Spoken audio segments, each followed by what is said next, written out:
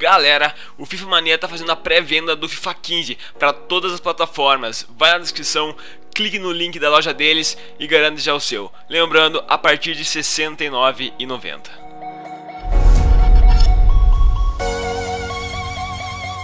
Fala galera, aqui é o Luiz e hoje bem-vindos ao nosso penúltimo episódio aqui na nossa série do Top 50, onde eu faço uma análise, um review das cartinhas que vão ter no nosso FIFA Ultimate Team do FIFA 15.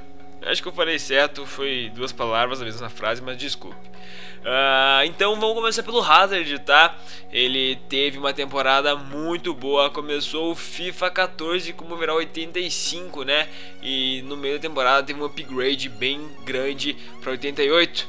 Ele joga muito, beleza? Ele realmente joga muito. Continuou com o Silverall 88. Ele ficou basicamente com os mesmos status, tá? aumentou um, diminuiu o outro. Uh, o físico dele tá bom pra ele, ele é bem fraquinho até. E cara, o Hazard é um dos melhores meias esquerdas do jogo, se não o melhor, cara. Tem ali o, Cristiano Ronaldo, que é meia esquerda, o Royce, mas ele com certeza tá no top 3, beleza?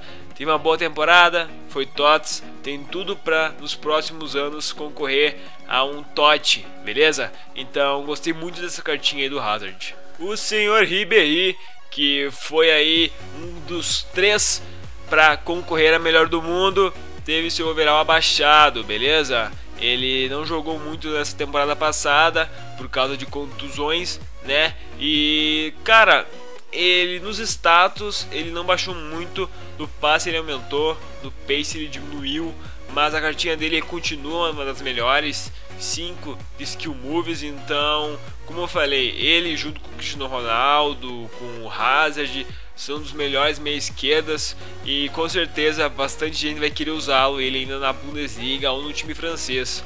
Ribéry é muito bom e tem tudo para continuar com esse overall ainda no FIFA 16, porque ele tem muito para jogar. Schweinsteiger, que também se aposentou da seleção alemã, teve seu overall uh, estagnado no mesmo, estagnado é uma palavra bonita, né?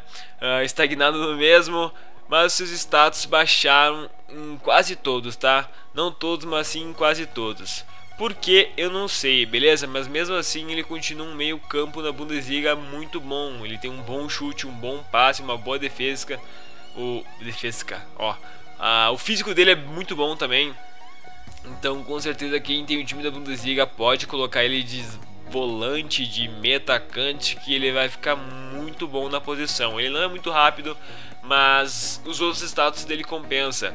Ele jogou uma Copa do Mundo muito boa ele foi um dos principais aí para a Alemanha ser campeã e ele tem muita bola ainda para jogar como o Ribéry. Ele está ficando velho, mas com certeza tem muito para mostrar. Ex-Liverpool e agora no Barcelona, o Soares começou a temporada com uma cartinha de overall 86, se não estou enganado.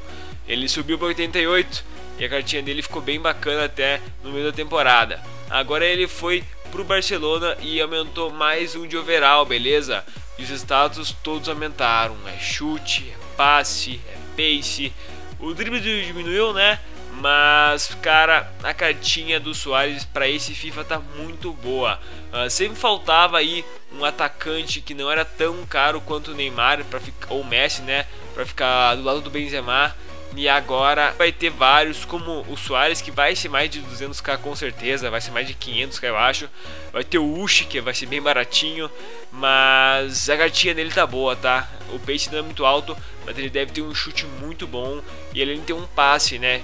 Que passe para atacante ajuda muito. Então, ele tem tudo para fazer uma boa temporada e ser TOTS na BBVA também. E para terminar aqui o episódio de hoje, vou analisar o Iniesta, tá? Que junto com o Xavi, para mim ele teve, tinha, quer dizer, ele tinha, né, que ter seu overall abaixado, pelo menos um ou dois, cara, porque a temporada dele não foi boa. O Xavi diminuiu 3, eu achei que o diminuiu o Iniesta também, não o fizeram, beleza?